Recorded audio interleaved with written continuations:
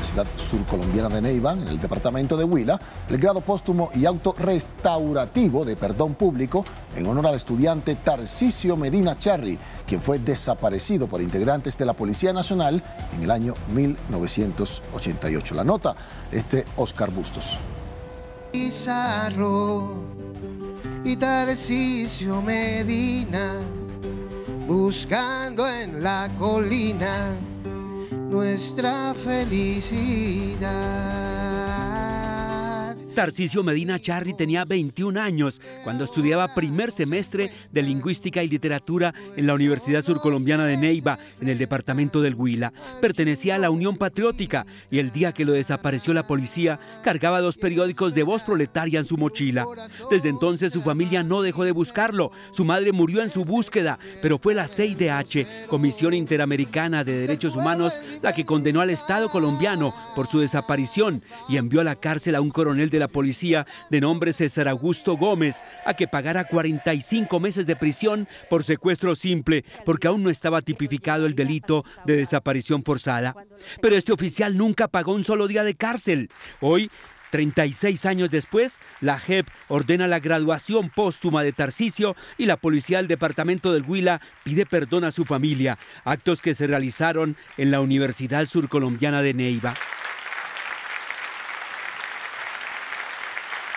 La desaparición de un joven lleno de ideas, de sueños, de un luchador, de un pensador. Estamos dignificando a todos y cada uno de los cerca de 10.000 militantes de la Unión Patriótica que fueron asesinados, desaparecidos, heridos, desplazados, despojados. Se llevaron en camiones a varios estudiantes, entre ellos a Tarcisio Medina Charly. ¿Quién es Tarcisio Medina Charly? Es el hijo de una familia que para en 1988 vivía en una zona rural, eh, en un municipio eh, cerca a Neiva. ¿Es suficiente?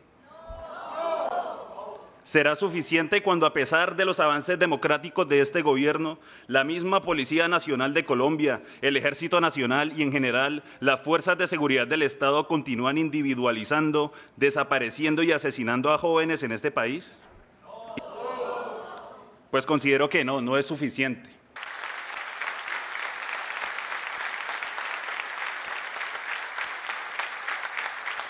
Hasta que al fin tomó la palabra el comandante de la policía del departamento del Huila, quien en nombre de la institución ofreció perdón a la familia de Tarcisio Medina Charri. Reconocer el profundo daño que se causó, por lo que la Policía Nacional les pide perdón como un deber moral donde el Estado le asiste el deber de velar por la integridad de sus ciudadanos. Por eso es inaceptable y reprochable que sean víctimas de violaciones a los derechos humanos mientras se encuentran en manos de quienes deben garantizar su protección y respeto. Paola Medina Charri, hermana de Tarcisio, no aceptó el perdón que ofreció la policía. No es posible aceptar un perdón en este momento cuando el cuerpo de mi hermano Tarcisio aún no ha aparecido cuando la entidad estatal que se lo llevó, que fue la policía, no ha hecho ni los más mínimos esfuerzos por permitirnos tener una verdad. Paola agregó que su familia recientemente ha recibido amenazas, dice por haber recibido una indemnización cuando esto no ha sido cierto. Por lo menos la memoria de Tarcisio Medina Charri ha sido restaurada.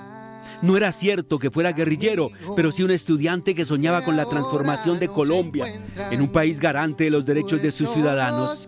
Solo falta que quienes lo desaparecieron ubiquen el lugar donde se encuentran sus despojos mortales para que su familia pueda sentirse más satisfecha y sienta que ha valido la pena luchar por la restauración del nombre de su hermano.